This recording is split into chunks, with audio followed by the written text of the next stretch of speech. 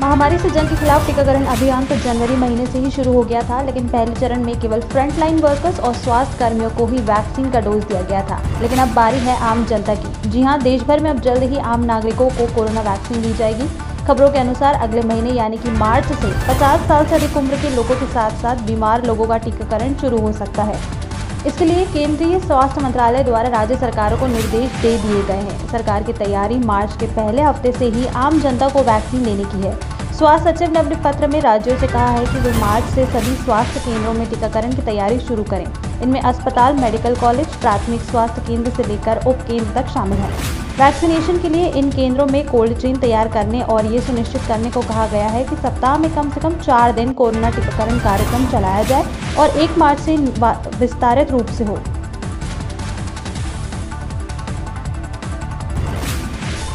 छोटे पर्दे की छोटी बहू यानी कि रुबिना दिलैक ने कल शाम बिग बॉस 14 का खिताब अपने नाम किया है। लगभग 22 कंटेस्टेंट्स को पीछे छोड़ते हुए रुबिना दिलैक ने बिग बॉस 14 की चमचमाती ट्रॉफी और 35 लाख की प्राइज मनी को अपने नाम किया।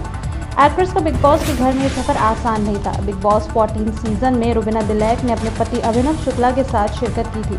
रुबिना ने पहले दिन से लेकर आखिरी दिन तक बिग बॉस के घर में हर छोटी बड़ी परेशानी का अकेले और डट कर सामना किया था। रुबीना को कई बार शो के होस्ट सलमान खान ने भी फटकारें लगाई थी। इसके बावजूद वो अपनी लड़ाई लड़ती गई देश भर में कोरोना संक्रमण एक बार फिर बढ़ने लगा है। देश की आर्थिक राजधानी महाराष्ट्र में एक बार कोरोना ने अपने सारने फिर से शुरू कर दिए हैं। महाराष्ट्र में अचानक संक्रमण के मामले बढ़ने से सरकार की परेशानियाँ बढ़ गई हैं। वहीं आज से राज्य के कई शहरों में दोबारा लॉकडाउन लागू किया जा रहा है। आपको बता दें कि कोरोना संक्रमण को बढ़ता देखते हुए पुणे में 28 फरवरी तक स्कूल, कॉलेज बंद कर दिए गए हैं और पुणे के अलावा नासिक में रात 11 बजे से सुबह छह बजे तक रात्रि कर्फ्यू का भी ऐलान कर दिया गया है। इसके अलावा यवतमाल, अमरावती और अचलपुर में लॉकडाउन की घोषणा की गई है। महाराष्ट्र के अमरावती और अचलपुर में संपूर्ण लॉकडाउन लगाया गया है, जो आज यानी कि 22 फरवरी रात 8 बजे से 1 मार्च सुबह 8 बजे तक लागू रहेगा। यवतमाल, अकोला और अकोट में कल सुबह छह बजे से एक मार्च की सुबह छह बजे तक संपूर्ण लॉकडाउन रहेगा। हालाँकि इन जिलों में आवश्यक सुविधाएँ जारी रहेंगी। कांग्रेस पार्टी को हाल ही में एक बड़ा झटका लगा है। पुडुचेरी की नारायण स्वामी सरकार ने आज विधानसभा में बहुमत खो दिया। जिसके बाद मुख्यमंत्री नारायण स्वामी ने सदन में अपना भाषण देने के बाद राज्यपाल तिमिल साई सौंदर्य राजन को अपना इस्तीफा सौंप दिया है। नारायण स्वामी ने इस्तीफा देने के बाद कहा कि स्पीकर ने बीजेपी के तीन नॉमिनेट विधायकों को वोट नहीं करने की मांग को ठुकरा दिया है, जिसके चलते हमने सदन की कार्यवाही का बहिष्कार कर अपने मंत्रिमंडल के साथ इस्तीफा दे दिया है। नारायण स्वामी ने सरकार गिरने का पूरा ठीकरा पूर्व उपराज्यपाल किरण बेदी और केंद्र सरकार पर फोड़ा है।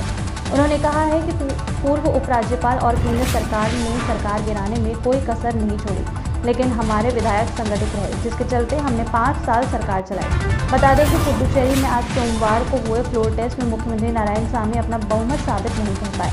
बहुमत साबित न कर पाने के बाद राज्य के उप मुख्यमंत्री नारायण स्वामी ने कहा कि उनकी पार्टी अब अगले चुनाव का सामना करेगी। इससे पहले विधानसभा में हंगामा देखने को मिला और कांग्रेस के विधायक सदन से बाहर निकल गए।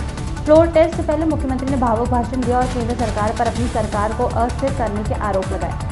आपको बता दें कि पुडुचेरी तैतीस सदस्यों वाली विधानसभा है। बीते रविवार को कांग्रेस के विधायक लक्ष्मी नारायण और डीएमके विधायक वेंकटेशन के इस्तीफे के बाद कांग्रेस डीएमके के पास 11 विधायक बचे हैं, जबकि विपक्ष के पास 14 विधायक बचे हैं। वहीं राज्य विधानसभा की सात सीटें अभी भी खाली हैं। उत्तर प्रदेश विधानसभा में भी आज से बजट सत्र शुरू हुआ है और वित्त मंत्री सुरेश खन्ना ने योगी सरकार का अंतिम पूर्ण बजट पेश किया है। ये अंतिम पूर्ण बजट इसलिए है क्योंकि अगले साल उत्तर प्रदेश में चुनाव होना है। यूपी में होने वाले विधानसभा चुनावों के चलते इस बजट को चुनावी बजट का नाम दिया गया है। योगी सरकार का यह बजट प्रदेश के इतिहास का अब तक का सबसे बड़ा बजट है। इस बजट में मेट्रो, एक्सप्रेसवे और एयरपोर्ट पर ज़ोर दिया गया है। वहीं किसान आंदोलन को देखते हुए किसानों को खेती के लिए मुफ़्त पानी और सस्ता लोन उपलब्ध कराने का ऐलान किया गया है। इसके साथ ही अयोध्या के लिए 140 करोड़ रुपए दिए गए हैं। 101 करोड़ रुपए अयोध्या में एयरपोर्ट और राम मंदिर तक के रास्ते के लिए 300 करोड़ रुपए का ऐलान किया गया है। दमन और दीप के सांसद मोहन देलकर को लेकर एक चौंका देने वाली खबर सामने आ रही है। सोमवार को मोहन देलकर का शव मुंबई के एक होटल में मिला है, जिसके बाद पूरे इलाके में सनसनी फैल गई। मुंबई के मरीन ड्राइव स्थित एक होटल में मोहन देलकर का मृत शरीर पाया गया।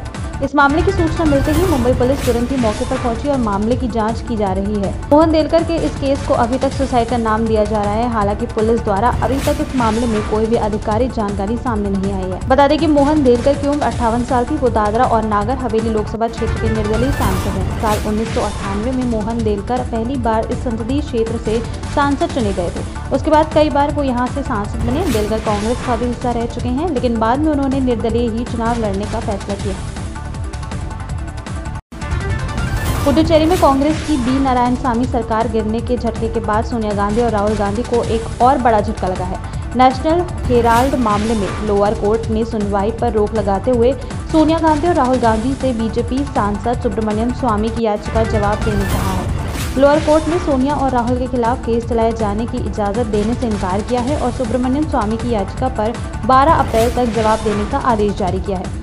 दरअसल बीजेपी सांसद सुब्रमण्यम स्वामी ने नेशनल हेराल्ड मामले में लोअर कोर्ट के फैसले को दिल्ली हाई कोर्ट में चुनौती दी है। सुब्रमण्यम स्वामी ने राहुल गांधी और सोनिया गांधी के अलावा अन्य लोगों पर नेशनल हेराल्ड मामले में धोखाधड़ी और अवैध तरीके से धन जुटाने की साजिश रचने के आरोप लगाए हैं। प्रधानमंत्री नरेंद्र मोदी सोमवार को पश्चिम बंगाल के दौरे पर हैं। प्रधानमंत्री नरेंद्र मोदी ने बंगाल के हुगली में जनसभा को संबोधित किया। पश्चिम बंगाल में नोआपाड़ा से दक्षिणेश्वर तक मेट्रो रेलवे के विस्तार का उद्घाटन करने के लिए पहुँचे पीएम मोदी ने अपने भाषण की शुरुआत बांग्ला में अभिनंदन करके की।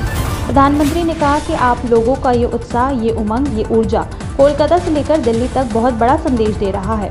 अब पश्चिम बंगाल परिवर्तन का मन बना चुका है। प्रधानमंत्री मोदी ने पिछली सरकारों पर हमला बोलते हुए कहा कि आधुनिक हाईवे, आधुनिक रेलवे, आधुनिक एयरवे इन देशों के आधुनिक इंफ्रास्ट्रक्चर ने इन देशों को आधुनिक बनाने में मदद की।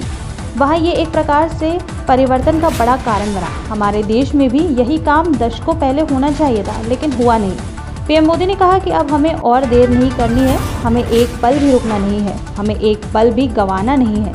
इसी सोच के साथ आज देश में आधुनिक इंफ्रास्ट्रक्चर के निर्माण पर अभूतपूर्व ज़ोर दिया गया। अभूतपूर्व निवेश किया जा रहा है।